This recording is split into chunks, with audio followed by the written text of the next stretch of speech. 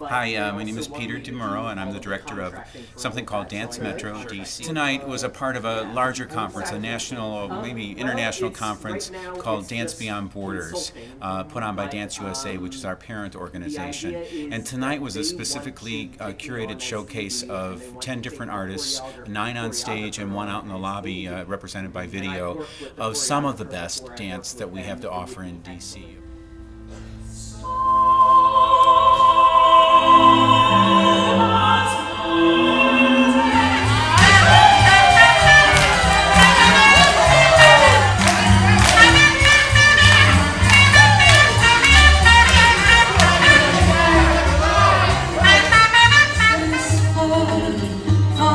thank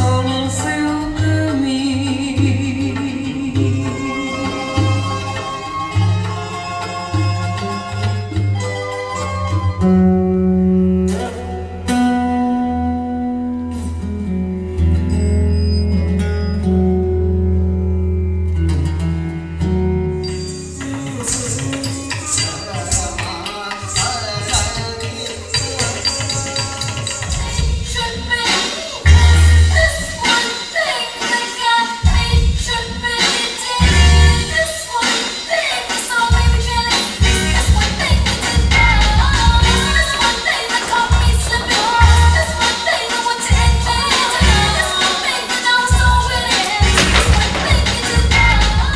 Brian Williams from Step Afrika.